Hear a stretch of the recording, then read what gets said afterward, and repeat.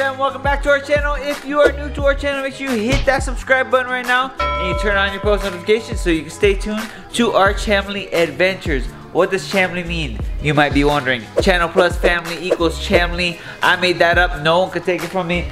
Right, right, baby Neo? No one could take it from me? Are you smiling? Hi, Papa. Are you? so Neo has this thing of like flicking everybody off. Like he literally sticks up the middle finger all day. Like, cause he sucks on his middle finger. So then when he takes out his mouth, he just holds it up. Are you gonna stick your middle finger up today? Oh, oh, oh, oh, oh, oh, oh. He, he's not he's not doing it. But when he does it, it's really funny. Anyways, also, if you guys are like watching this and you never watched us before, make sure you subscribe because we just got our 100,000 subscriber plaque and we're shooting for our million subscriber plaque. So we need you to subscribe right now to help us get there. Anyways, oof. I'm out of breath. We got some big things going on today. We're going to our old house. That's really cool. We're going to our old house where Bella was born today. So it's gonna be really cool. You guys are gonna see all the stuff from like our old times. We're gonna have good memories there to cherish, but you'll see. Oh, and it's Neo's first time going to that old house. Are you excited to see where your sister was little?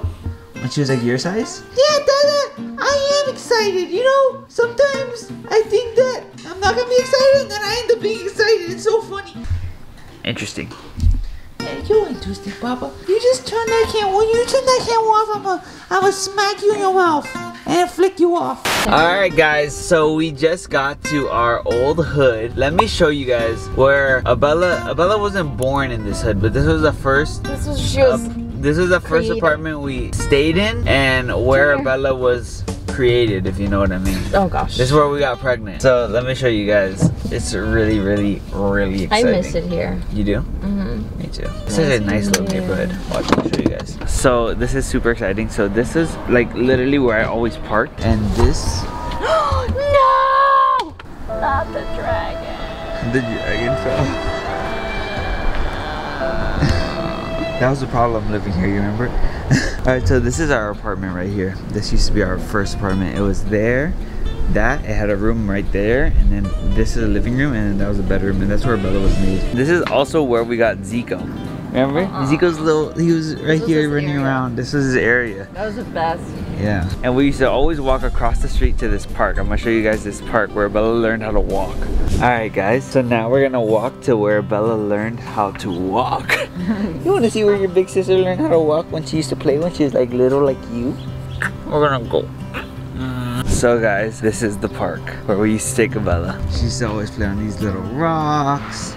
And she used to go here. And this is our favorite thing over here. To sit on this thing and spin. I have videos of her spinning on this thing when she was little. Is it hot? That's probably, yeah, it's hot.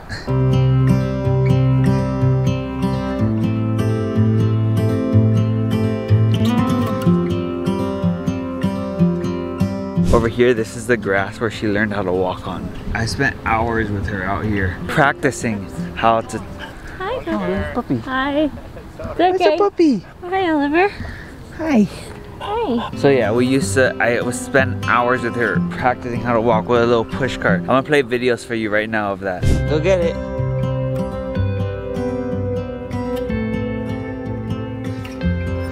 Oh gosh. Almost.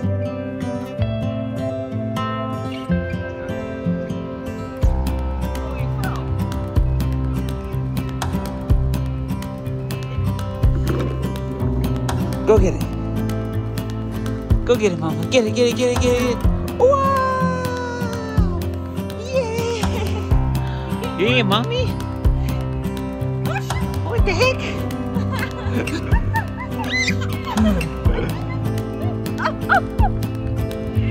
Jack! Get it, mama. Get it, mama. Wow! Oh, too fast, too fast, too fast.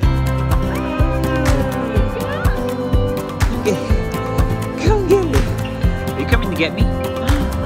Tag, you're it. Shoot. Yeah, your ball. You can have it. She's like, I'm too far. Mommy's gonna get you, run.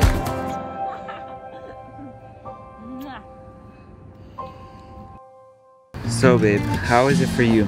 Seeing all this. I was like just like reminiscing how like our family has grown and like not just like us but like our actual family has grown and Yeah. it's so cool to like just be able to share this with you guys and like come back here and just like all the memories like in this pool is where we had like our wedding Yeah. and like Oh, we had our wedding here too. Our, our what's that? Yeah. What's that thing called after a wedding?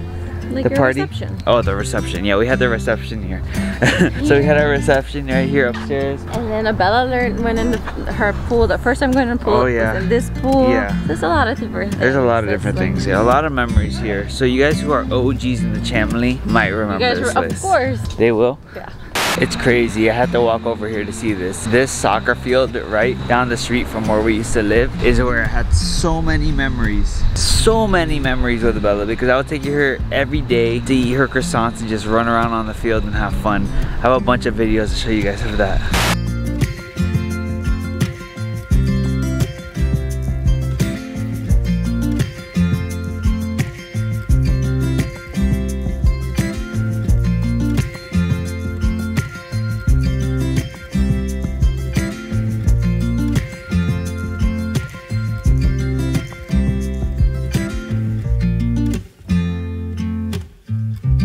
You guys, so you guys might be wondering why did you come all the way back to Playa Vista where you used to live? And it is because Cristal has tried and tried and tried to get a doctor where we live now and they're all overbooked. So we called this doctor that we used to have and he's able to see you. He's finally able to see me, so I'm gonna go see him right now and talk to him, and hopefully I can get a solution to my problem. And I want to just share with you guys what I've been dealing with in the back. It has a lot to do with my mental health, so stay tuned for that because I'll be sharing with you guys. Now, Once we get back home, Cristal will explain to you guys what exactly she has been going through.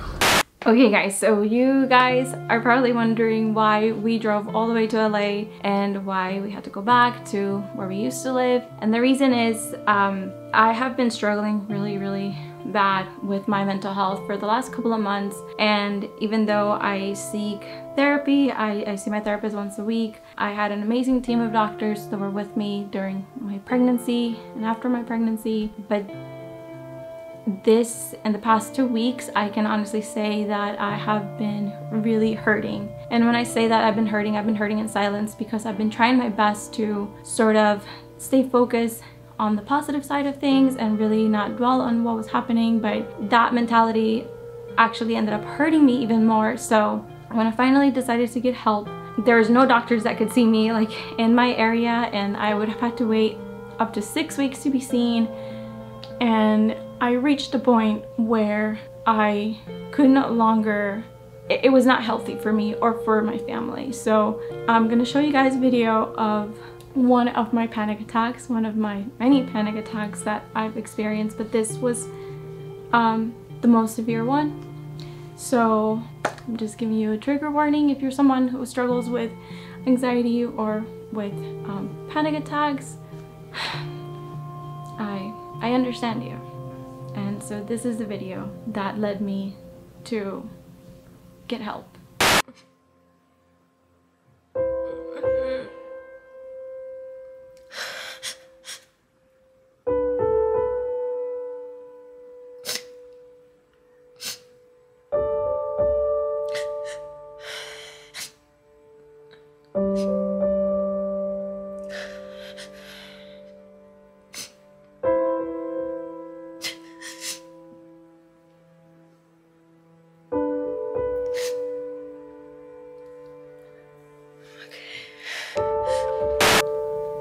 Okay, so this day was the second day in a row that I had a, a panic attack. And I think what I, um, how I ended up here is that I, I'm, everyone's always like, Cristal, you're such a positive person, how do you do it? And I am a positive person, but I think, and I can honestly say that for the past couple of weeks, I've had a very like toxic positivity mindset and so what that looked like is like no matter how bad I was hurting and no matter how much I was suffering on the inside my positivity didn't allow me to just like simply say to myself like hey like you are really struggling and this time you really need to get help. Like you can't do this by yourself. And so I kept pushing I kept pushing I kept pushing. And then I got to that point where my panic attacks just got completely out of control And so I had originally planned to breastfeed Neo for six months, and he's just turned four months not that long ago. That was my goal. I was like, okay, if I can get through the six months, then I will get help. And so I sort of put myself off in order for me to like fulfill this idea and this plan that I had for my motherhood journey. And that became really unhealthy for me because um, I also suffer from ADHD and I have been on my off my medication for almost two years and probably a little bit longer than that because after I had Abella I went back on my medication and then I got off of it and then I've been off my medication for for that long. And I started to notice that this time after I gave birth to Neo I focused so much on trying to prevent or trying to avoid experiencing postpartum depression for a second time that I completely neglected this other side of me. And so I typically would not say anything to anyone and I would have um, actually would probably kept on keeping it to myself and mention it to my therapist but I wouldn't I would play down a lot like how severe it was and so I went back to my doctor today I explained everything that was going on and um, I was very afraid to get back on my medication because I was afraid of like the process of getting back into the medication, finding the right one that works for you, and essentially putting my family through that.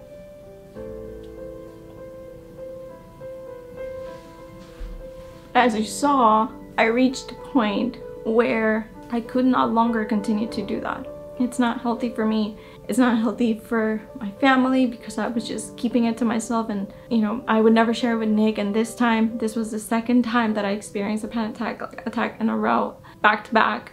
So this time I called Nick and I told him like hey like I am not okay and I need help. And when I told him that it felt like a huge weight was lifted off me and it was like a door opened up for me and an opportunity for me to actually get help and to start living again. And so I wanted to share this side of my life with you guys because I know how lonely and how empty it feels sometimes when you're dealing with mental health issues, whether it's depression, whether it's ADHD, anxiety, panic attacks, any any mental health um, disorder. It's very confusing, not just for the person who's experiencing it, but also for others around you. So I'm I'm super thankful that I have an amazing husband who supports me and who was like, okay, like, I know that you want to continue to breastfeed, but you are not okay and it's okay to get help. And the fact that he came with me to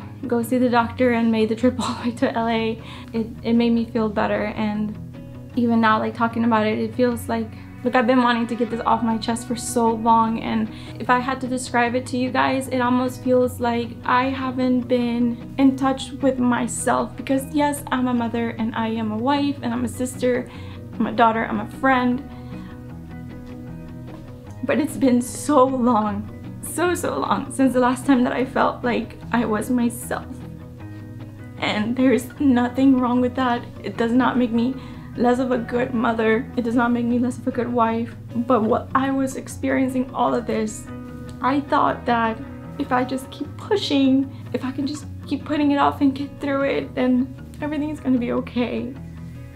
But it wasn't because it was at the cost of my own mental health and I did it to myself. It's just the type of person that I am. I push through things and that's great.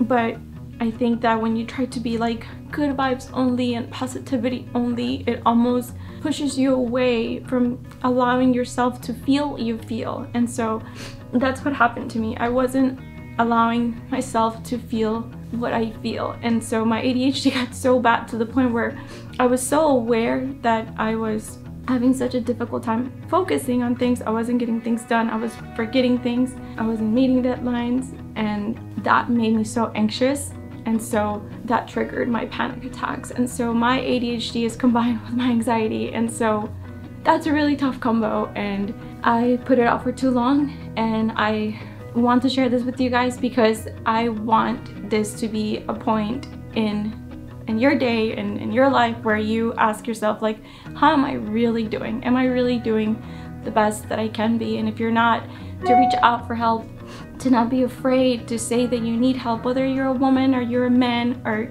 young or old.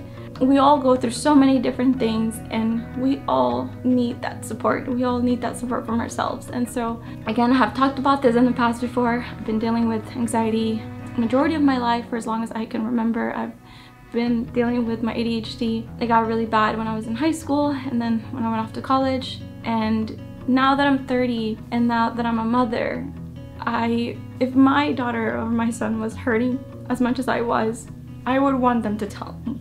So if you are struggling and you're afraid to say something because you may feel like no one's gonna believe you or they're gonna think that you're weak, talk to someone. Don't keep it to yourself because it is so painful to do that. And I wouldn't wish that for anyone. So um, again, thank you so much for all your support and everyone who I see some of you notice like when I'm more quiet or like why like I've changed or some of you have even messaged me privately and asked me like how come I haven't posted on my personal channel? And honestly that's one of the reasons because it was too much for me and so I didn't want to put out any content that felt like I again that channel is like my baby like I have fun with it and I haven't felt myself for a really long time and I needed to prioritize my mental health and and I'm glad that I did and I'm glad that I got the help that I needed but I'm even more thankful for you guys because so many of you are just so incredibly amazing and so uplifting. I don't always get to answer all of your comments or all of your